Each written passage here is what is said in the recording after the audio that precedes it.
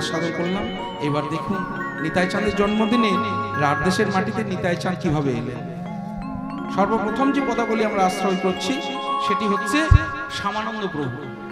যে শ্যামানন্দ প্রভু বৃন্দাবনে গিয়ে শ্যামানন্দ নাম ধারণ করেছিলেন, তার আগে নাম ছিল দুঃখী কৃষ্ণদাস। হৃদয় চৈতন্যের কাছে মন্ত্র শিক্ষা নিয়ে তিনি চলে গেলেন বৃন্দাবন।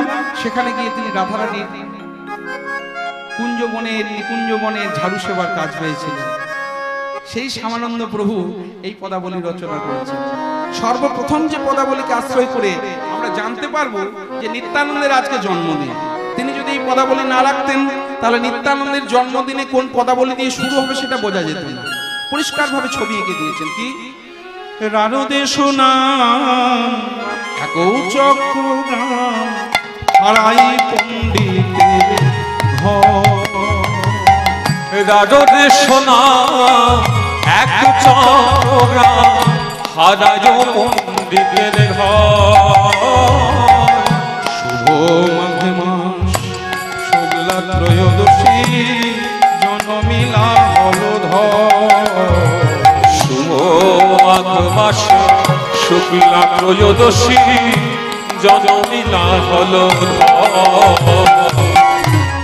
রারদেশ নাম একচক্রগ্রাম হারাই পণ্ডিতের গৃহে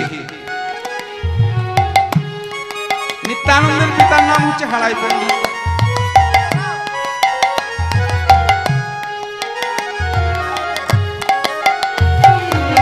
শুভ মাঘ মাসে শুক্লা ত্রয়োদশী জনমিলা হল মাঘ মাসে শুক্লা ত্রয়োদশী জন্ম নিল জন্ম নিল জন্ম নিল দেশে জন্ম নিল দেশে জন্ম নিল। এই ভারত ভূমি ধন্য হলো।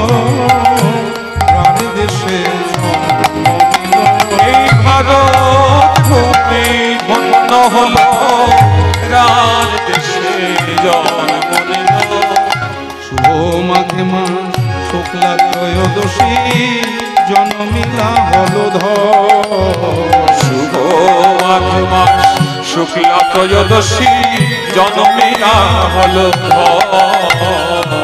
আর দেশের মাটিতে চারিদিক আলোয় আলোকিত করে জন্ম নিলেন আমার সেই ব্রজের বলরাম যিনি হারাই পণ্ডিতের ঘরে জন্ম নিলেন এই রার দেশের মাটি কিন্তু যখন জন্ম নিয়েছিলেন, সেই সময়টা ছিল দুর্ভিক্ষর সময়। অনাবৃষ্টি, ভালো চাষবাস নেই, সবার মনে খুব দুঃখ। সবার মনে যেন মুখে হাসি চলে গেছে।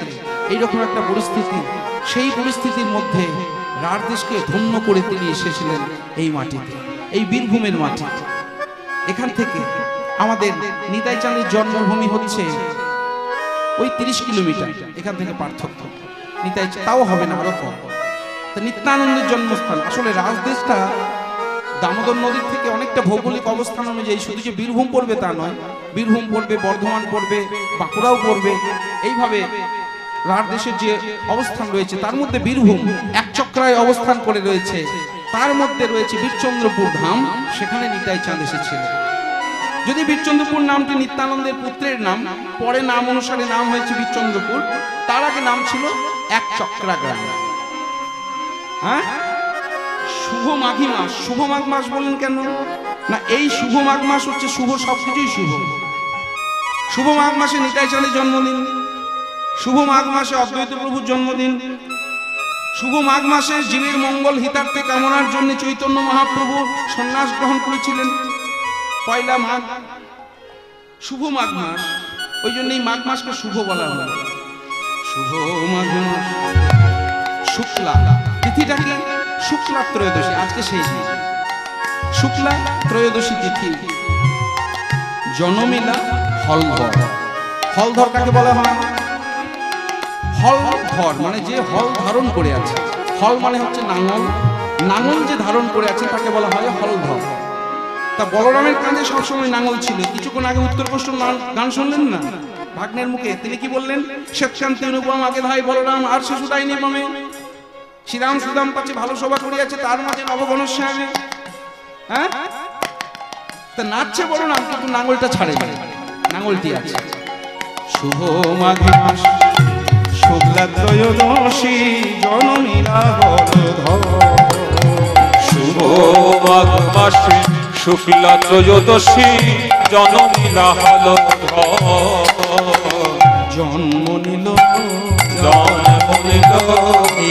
ভূমিতে জন্ম নিল। এরার ভূমিতে জন্ম নিল। ভারত ভূমি ধন্য কইল সর্বয় অমঙ্গল দূরে গেল। এই ভারত ভূমি ধন্য হল সর্বয়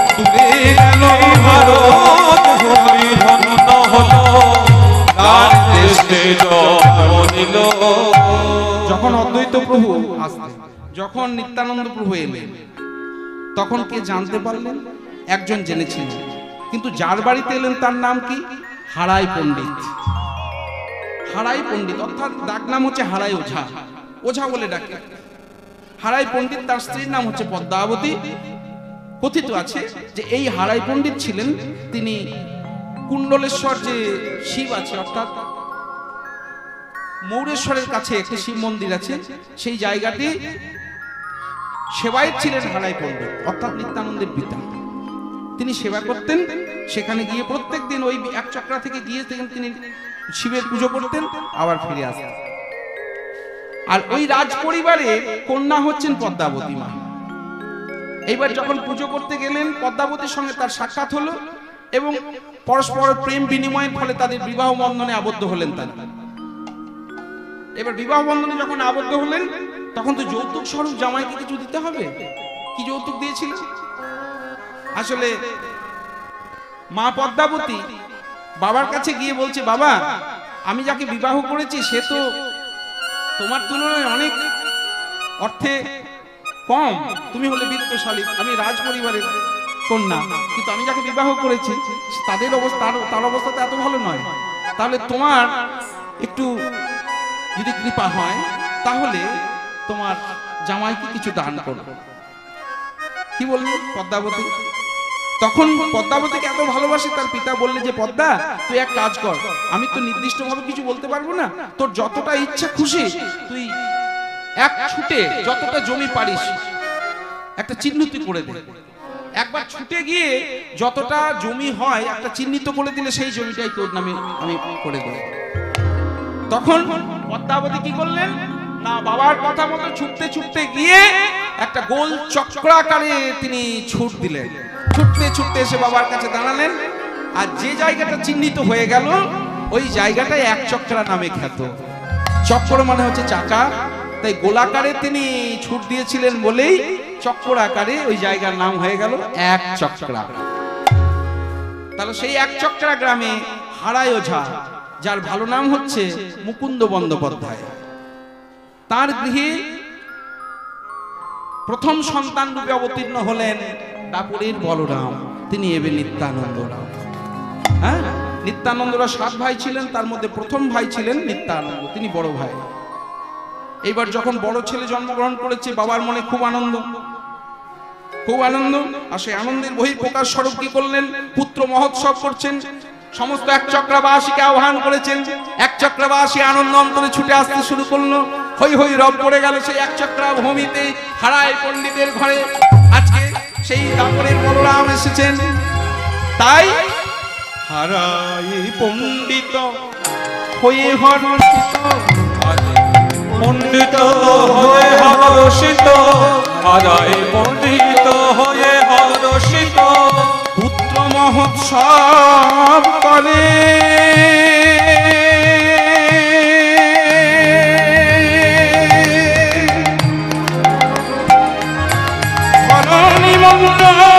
করে জলমল আনন্দ নাহি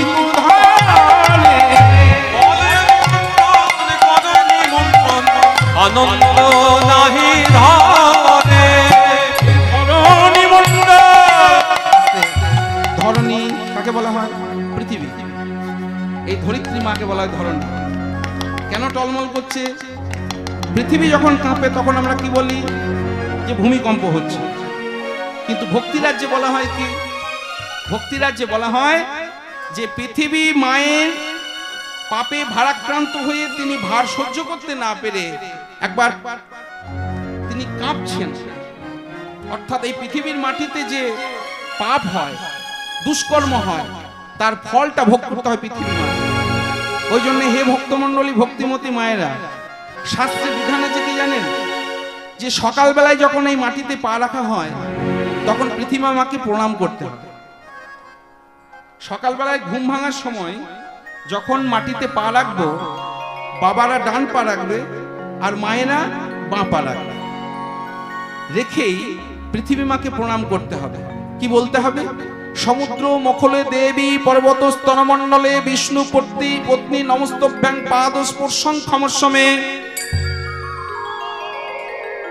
হ্যাঁ নিত্যকর্ম পদ্ধতি বইয়ে লেখা আছে, পরিষ্কার লেখা আছে। এইগুলো করলে কি হয়? এইগুলো করলে ভক্তি রাজ্যে আপনার উত্তরণ ঘটে, উন্নতি হয়। হ্যাঁ এইগুলো করলে উন্নতি হয়। এইগুলো না করলে আমরা ভক্তি রাজ্যে আপনি উন্নতি পাবেন না। শুতে হয় কি করে? যখন শয়নে যাবেন, তখন ওই সিথানের বালিশটাকে প্রণাম করে ভাববেন এটা গুরুদেবের শ্রীপাদ পদ্ম। শয়নের যে বালিশটা, পা চাপিয়ে দেবেন না? কিছু মনে করবেন না কথাটা বলছি বলে। আমি আমার কথা বলছি না শাস্ত্রের কথা বলছি। ওই শয়নের বালিশটাতে পা চাপিয়ে শোয়ার নয়। ওইটা মাথাতে দেবো, ওটা ভাবতে হবে গুরুদেবের শ্রীচরণ। যিনি শোবেন, তিনি ভাববেন আমি সারাদিনের অক্লান্ত পরিশ্রম করে, আমার সারাদিন যত কর্ম করেছি, শুভ কর্ম, অশুভ কর্ম, সমস্ত কিছু নিবৃত্তি পাওয়ার জন্য, তার থেকে পরিত্রাণ পাওয়ার জন্য আমি শ্রী গুরু পাদ পদ্মে স্মরণ নিলাম।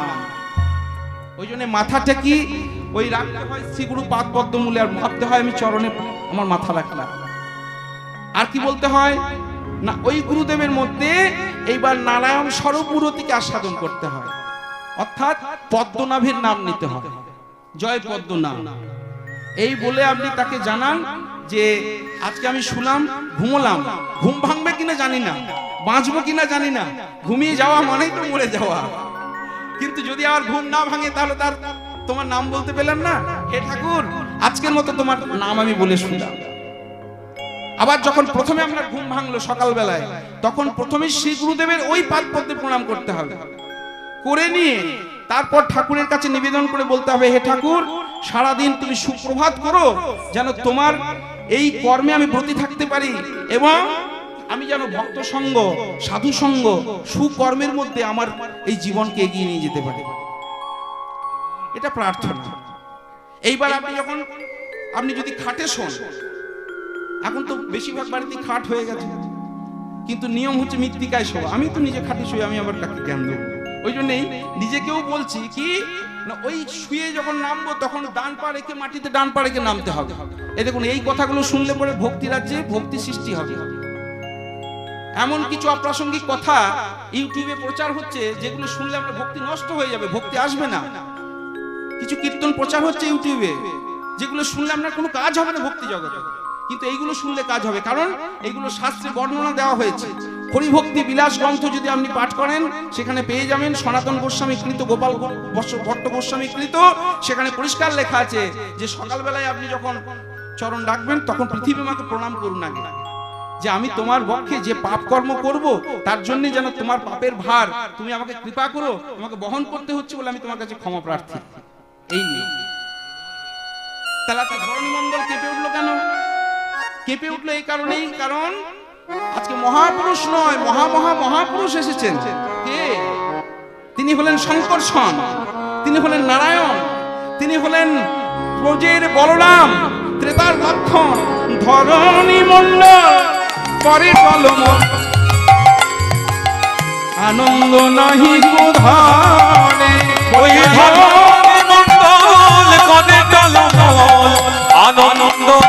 ধরে আনন্দ মানে, ওই আনন্দ মানে, হরি হরি হরি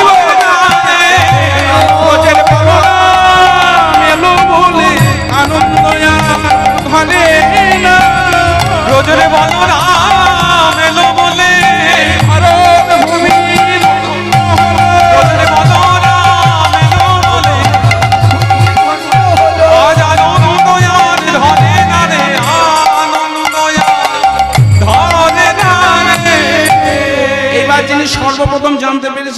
আর ধনে না এসেছেন বলরাম তিনি কে? যিনি না এলে গৌরের অবতার হতো না তিনি আর কেউ নন। অদ্বৈত আচার্য হয়ে হর্ষিত অদ্বৈত আচার্য হরে হরষিত। অদ্বৈত আচার্য হয়ে হর্ষিত। করি কিছু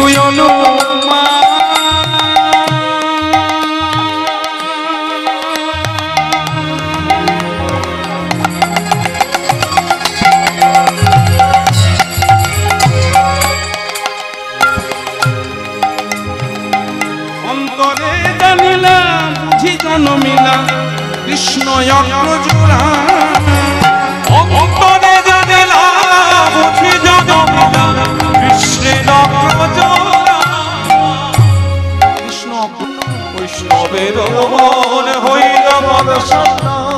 আনন্দ সায়রে ভাসে।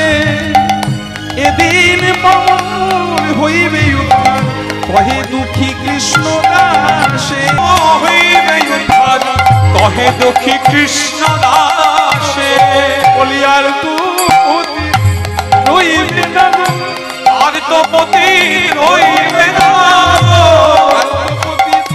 রইবে না আদি কেউ পতি রইবে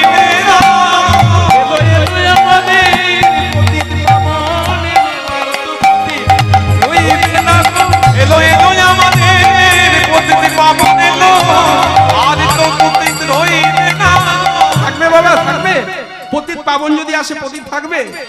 হ্যাঁ? পতিত থাকবে? বলে, না, থাকবে না। কিন্তু পতিতেরও অভাব হবে না। কারণ ভগবান বলেছেন কি?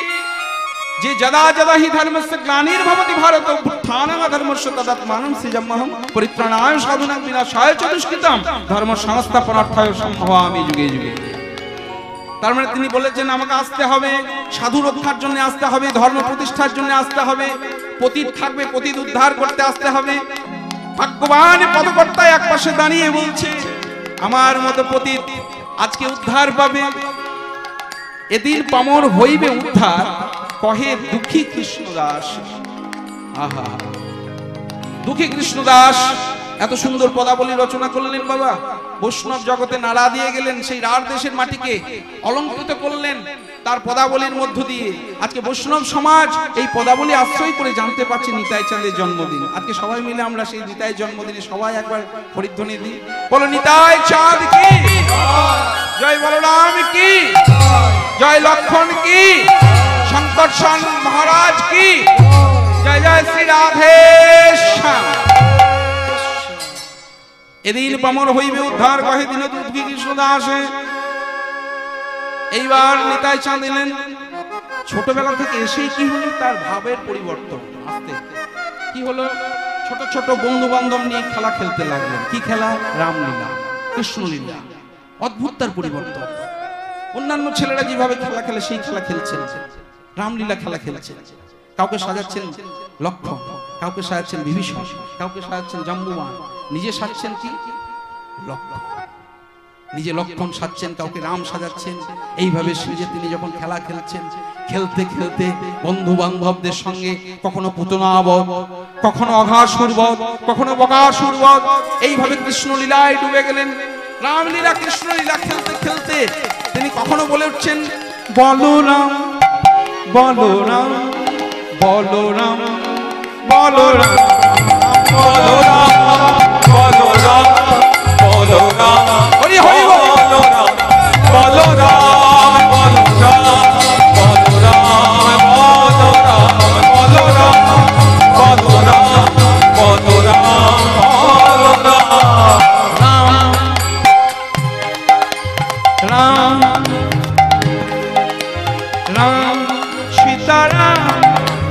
সীতারাম সীতারাম সীতারাম রাম রাম রাম সীতারাম সীতারাম সীতারাম সীতারাম রাম এই এই কুবের এই কুবের কি করছিস কি করছিস? জানিস আমি তীর ধনুক ধরেছি। রাম राम राम सीताराम सीताराम सीताराम सीताराम बोले राम राम राम सीताराम सीताराम सीताराम सीताराम राम राम राम सीताराम सीताराम सीताराम सीताराम। खेलते খেলতে বাড়িতে চলে এলেন বাবা মা সেই দিন ঘটনাচক্রে এক সন্ন্যাসী ঠাকুর এসেছে তার বাড়িতে। সেই সন্ন্যাসী ঠাকুর এসে গৃহস্থালী হয়েছেন, এবার তিনি আশ্রয় লাভ করেছেন, আতিথ্য গ্রহণ করছেন, আর সেই গৃহের সন্ন্যাসীকে পেয়ে তিনি এবার গৃহের মধ্যে অবস্থান করছেন। আর তখন ভাড়ায় পণ্ডিত মা পদ্মাবতী সন্ন্যাসী ঠাকুরকে নিয়ে আপ্যায়ন করে বাড়ির ভেতরে নিয়ে গেলেন। সেখানে কত যত্ন করে পাদপক্ষালন করিয়ে দিয়ে আসন দিলেন, শুষ্ক বস্ত্র দিয়ে পরিষ্কার করে দিয়ে শুদ্ধ আসনে বসিয়ে দিয়েছেন। বসে আছেন। এমন সময় কুবের নাচতে নাচতে এসে দাঁড়িয়েছেন মায়ের কাছে। মা, জানিস বাবা, আজকে আমাদের ভাগ্য খুব প্রসন্ন। কেন জানিস? কেন মা? ভাগ্য ভালো কেন জানো? যেদিন বাড়িতে বৈষ্ণব আসে না, সেদিন তার ভাগ্য প্রসন্নই হয়। শাস্ত্রে কি আছে জানিস? শাস্ত্রে আছে অনেক ভাগ্যের ফলে বৈষ্ণব আসিয়া মেলে। যখন ভাগ্য করে বৈষ্ণবকে পেয়েছি, গৃহে করো বৈষ্ণব সেবন। তাহলে কর্তব্য হচ্ছে কি? যদি কোনো বৈষ্ণব বাড়িতে আসে, তাকে সেবা অবশ্যই দিতে হবে। তাকে সেবার দেওয়ার কথা মহাপ্রভু আমাদের শিক্ষা জগতে বলেছেন কি? নামে রুচি জীবে প্রেম, বৈষ্ণব সেবন, ইহা বই ধর্ম নাই, শোনো সনাতন। সনাতন গোস্বামীকে লক্ষ্য করে কলির জীবকে শিক্ষা দিয়ে বললেন যদি গৃহে বৈষ্ণব আসে বাবা, সেই বৈষ্ণবকে আপ্যায়ন করে বসেই তাকে যেন সেবা দিতে ভুলো না। আজকে সেই রক্ষা করছেন, সেই ভাবধারা রক্ষা করছেন। কারণ সেই ভাবে তাকে পরিপাটি করে সেবা দিয়েছেন। সেবা নেওয়ার পরে সন্ন্যাসী ঠাকুরের ইচ্ছা যে তোমাদেরকে যখন এত সুন্দরভাবে আমি তৃপ্ত হয়েছি তোমাদের সেবায়, আমার কি ইচ্ছা জানো? কি ঠাকুর? আমার ইচ্ছা আজকে সারা রাত ধরে তোমাদেরকে কৃষ্ণ কথা শোনাবো। সারা রাত আজকে কৃষ্ণ কথা শোনাবো, তোমরা শুনবে? যদি আপনি কৃপা করে শোনান, নিশ্চয়ই শুনব বলতে লাগলেন, সারা রাত ধরে। বলতে বলতে বলতে বলতে নিশি প্রভাত হয়ে এলো। প্রাতঃকালে সন্ন্যাসী ঠাকুর উঠে বলছেন, মা, এবার তো আমার যাবার সময় হয়েছে। আমাকে যেতে হবে। এবার আমায় বিদায় দিন। হারাই পণ্ডিত বললেন, দাঁড়ান। আমাদের কর্তব্য হচ্ছে আপনাকে সেবাদান করার পরে কিছু দক্ষিণা দেওয়া। আপনাকে তো কোনো দক্ষিণা দিননি দক্ষিণাটা আপনি নিন কি দক্ষিণা দেব আপনাকে? একটু স্বর্ণ টুকরো। তন্ডুলের সঙ্গে এনে মা পদ্মাবতী দেওয়ার জন্য যখন তিনি তার ব্যবস্থা করেছেন, তা দেখে সন্ন্যাসী ঠাকুর বললেন, মা, আমি সেমন সন্ন্যাসী নয় যে সন্ন্যাসী এই গৃহস্থালী বাড়িতে অতিথি আপ্যায়ন হয়ে এসে আমি তার কাছ থেকে তন্ডুল ভিক্ষা করে নিয়ে যাব। আমি সে সন্ন্যাসী নয়। আমি পরমার্থিক জগতে আমি যাকে খুঁজে বেড়াচ্ছি, আমি তাকে পেতে চাই। আপনি দক্ষিণা নেবেন না ঠাকুর? আপনি যদি দক্ষিণা না নেন, আমাদের অকল্যাণ হবে। কৃপা করে দক্ষিণা গ্রহণ করুন। সন্ন্যাসী ঠাকুর বলছেন, দক্ষিণা আমি নিতে পারি, তবে সেটা আমার ইচ্ছা মতো। দক্ষিণা নেব না তা বলব না। কিন্তু ইচ্ছা মতো নেব। কি? বলে দক্ষিণা হচ্ছে যে আপনাদের আসলে হারাই পণ্ডিত সম্মুখে দাঁড়িয়ে ভাবছেন এমন কিছু চাইবেন না তো? যার ফলস্বরূপ আমি যদি সেটা দিতে না পারি তাহলে আমি অপরাধী হয়ে যাব বৈষ্ণবের কাছে। বৈষ্ণব ত্রিসত্য করা বলুন আমি যা চাইব তাই আপনি দেবেন? বলুন সত্য করুন। সম্মুখে দাঁড়িয়ে সত্য করলেন। করলাম। বলুন, যা চাইব তাই দেবেন, সত্য করুন। আপনি যা চাইব তাই দেবেন, আমি সত্য করব। সত্য সত্য সত্য। কি সত্য? সন্ন্যাসী কি বলছে তোমার একমাত্র পুত্রকে, ওই কুবের পুত্রকে, ছোটবেলায় যার নাম কুবের, ছোটবেলায় যার নাম কুবের, ওই কুবের পুত্রকে মনে করো। দান।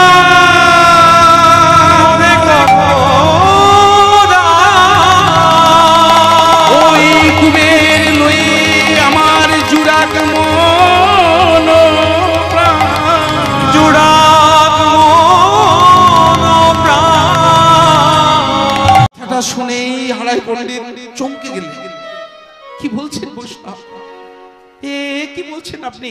কোন পিতা হয়ে তার সন্তানকে দক্ষিণা স্বরূপ দান করে দিতে পারে? এ আপনি কি দক্ষিণা চাইছেন কৃপা করে এইভাবে আপনি দক্ষিণা বলবেন না। আমি পারব না। আমি আগেই জানতাম বাবা যে আমি যা দক্ষিণা চাইব তুমি দিতে পারবে না। ওই জন্যই কি সত্য করিয়েছি? সত্যের কথা মনে আছে তো? আমি যদি দিতে পারি, কিন্তু ওই ওই কুবেরের মা যে তাকে দশ মাস, দশ দিন গর্ভে ধারণ করে এত লালন পালন করে বড় করে তুলেছে। ও যদি এই কথাটা শোনে, সন্ন্যাসী ঠাকুর, ও তো সহ্য করতে পারবে না। আপনি ফিরিয়ে নিন। আপনি আপনি আমার এই সত্য ফিরিয়ে নিন ঠাকুর। পদ্মাবতী এমন সময় দরজার আড়ালে দাঁড়িয়ে সমস্ত কথাটা শুনলেন। সন্ন্যাসীকে সান্ত্বনা দিয়ে বলছেন, দেখি, তার মাকে বুঝিয়ে যদি পারি, তবেই আমাদের ছেলেকে আপনাকে দান করতে পারব। কথাটা শুনে মা পদ্মাবতী বুকের মধ্যে পাষাণ রেখে তার স্বামীকে বলছে, স্বামী, আপনি না আমার স্বামী? জীবনে, মরণে আমরা পণ করেছি, আপনার সুখে আমি সুখী, আপনার দুঃখে আমি দুঃখী, আপনার আদর্শই আমার আদর্শ, আপনার সত্যই আমার সত্য, আপনি যদি সন্ন্যাসীর কাছে সত্য রক্ষার জন্য, আমার জন্য সত্যকে ভ্রষ্ট হতে হয়। আমি আমার তেমন স্ত্রী নই যে আমি আপনার সত্যকে ভঙ্গ করব। স্বামী, আমি কথা দিলাম। আপনার সত্যই আমার শিরোধার্য। আপনি যা চাইবেন, আমি মাথা পেতে নেব। পারবে পদ্মা? পারবে? মা হয়ে পারবে? যে মা হয়ে আমি তোমাকে বলতে পারছি পারব। পারব স্বামী আপনি পাশে থাকলে আমি নিশ্চয়ই পারব। ত্রেতা যুগে পালিবারে রাম গিয়েছিল বনে। আর এই কলি যুগে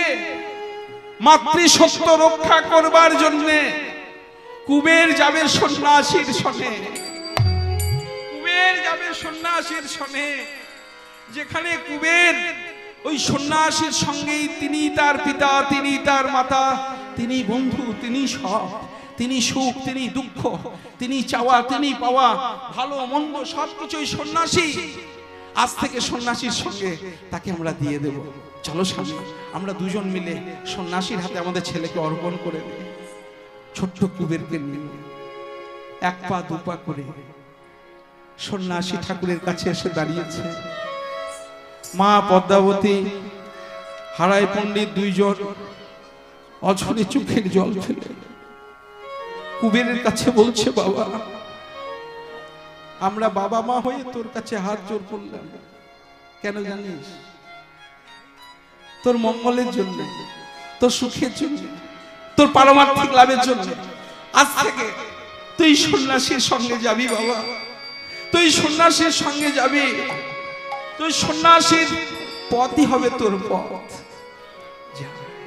মা? ও মা, এত সহজে আমায় তুমি বিদায় দিয়ে দিলে মা। যে ছেলেটাকে দশ দিন, দশ মাস গর্ভে ধারণ করে কত কষ্ট করে তুমি আমাকে লালন পালন করেছ, এত কষ্টে, এত সহজে তুমি আমাকে বিদায় দিয়ে দিলে মা। বেশ, তবে আমার একটা নিবেদন মা। কি? আমার নিবেদন কি জানো? যাকে আমি যার কোলে শুয়ে আমি এই পৃথিবীর আলো দেখেছি, যার কোলে শুয়ে আমি প্রথম হাসি হেসেছি, যার কোলে শুয়ে আমি মা বলতে শিখেছি, মা, তোমার ওই চরণ দুটি একবার বাড়িয়ে দাও মা। আমি শেষ শেষবারের মতো তোমার চরণ স্পর্শ করে ওই চরণে প্রণাম জানিয়ে বিদায় নেই। মা, দাও মা, এটাই আমার শেষ বাসনা। হে ভক্ত মন্ডলী হে ভক্তিমতী মায়েরা ওই ছোট্ট কুবেরকে নিয়ে মা পদ্মাবতী যেই সন্ন্যাসীর কাছে দাঁড়িয়েছেন আর ওই ছোট্ট কুবের কি বলছেন তুমি যে মা সব থেকে। তুমি যে মা সব থেকে আপন মা সব থেকে তুমি আকাশ তুমি মাটি। মাগো তুমি আকাশ তুমি মাটি। মাগো তুমি আকাশ তুমি মাগো তুমি আকাশ তুমি মাটি। তুমি ত্রিভুবন। যে মা সব থেকে আপন মাগো। তুমি যে মা সব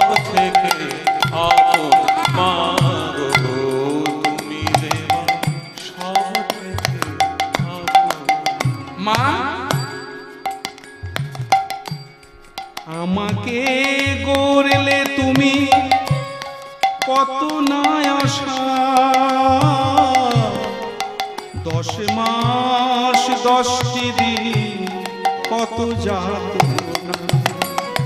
মাগো আমাকে গড়লে তুমি কত নাশায় মাগো দশ মাস দশটি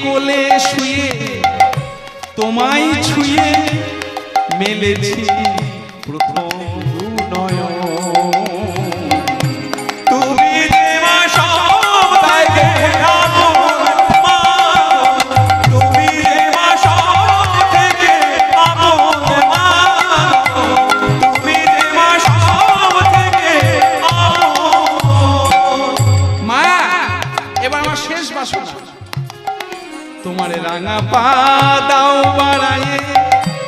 আমি রাখি উপহার। দুগালে দাও মায়া দোর কুবের ছেলেটা তোমার রাঙা পা দাও বাড়ায়ে। আমি রাখি উপহার। মাগো, দুগালে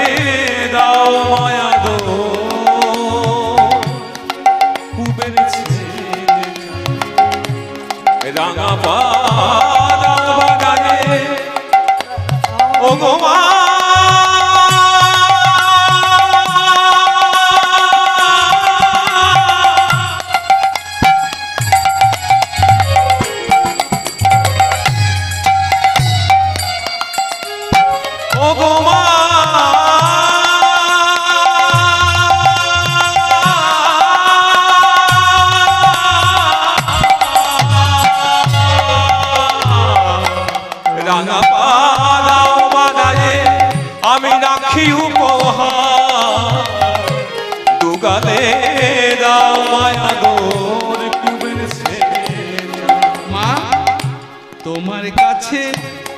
কিসের ন্যাসি?